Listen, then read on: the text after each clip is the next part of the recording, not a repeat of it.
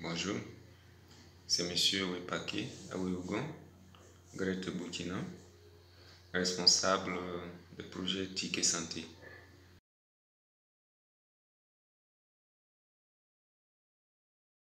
Suite aux mesures de confinement et de mise en quarantaine de certaines villes dont Ouagadougou, nous avons rapidement revu notre programme d'activité. Nous avions prévu au cours des mois de mars et d'avril une série euh, d'ateliers et de rencontres pour travailler avec les agents du ministère de la Santé. Mais compte tenu de cette épidémie, nous avons euh, revu euh, notre programme pour mettre l'accent sur les activités que nous pouvons réaliser au niveau du GRET en attendant que les agents du ministère soient dégagés de cette épidémie. Euh, autre chose qui a changé dans notre travail, c'est qu'actuellement, euh, nous sommes à la maison, euh, on ne se rend plus au bureau, on n'a plus de contact direct avec les collègues. il faut appeler chaque fois, il faut envoyer des mails, il faut passer par Skype pour se tenir informé, pour avoir les dernières instructions, etc., pour pouvoir continuer correctement le travail.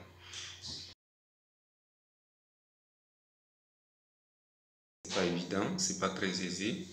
On a des perturbations euh, assez souvent, les enfants qui crient par là, euh, des visiteurs qui arrivent à l'improviste, euh, des bruits par-ci par-là qui dérangent un peu. Mais de plus en plus, on s'y fait, on commence à s'habituer. chaque matin, tu prends ta table de travail, tu essaies de trouver un coin un peu isolé pour pouvoir se concentrer et puis continuer le travail.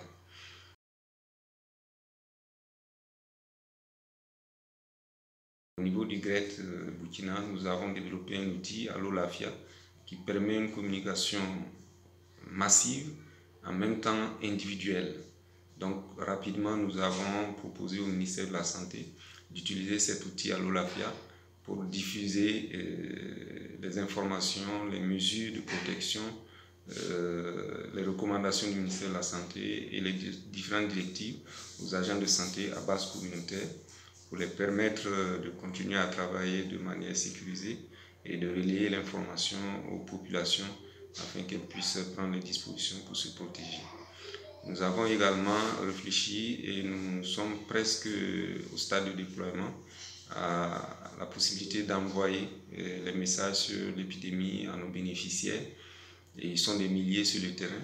Nous pensons que s'ils reçoivent euh, suffisamment d'informations, ils prendront les dispositions pour se protéger, protéger leurs amis, leurs familles, faire circuler l'information autour d'eux afin que nous puissions sortir rapidement de cette épidémie.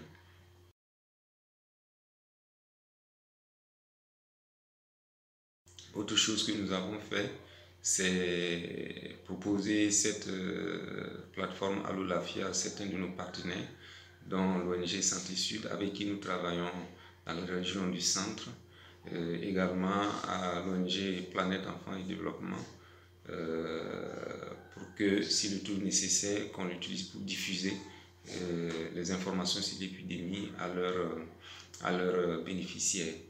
Donc ces réflexions sont en cours.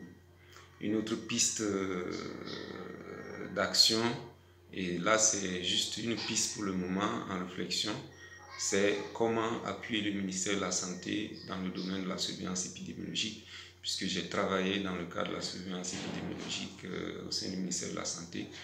Pensons que euh, c'est possible d'apporter un appui de ce côté aussi, euh, afin qu'ensemble on puisse unir les forces pour rapidement contrôler cette épidémie et pour que tout le monde puisse se remettre au travail.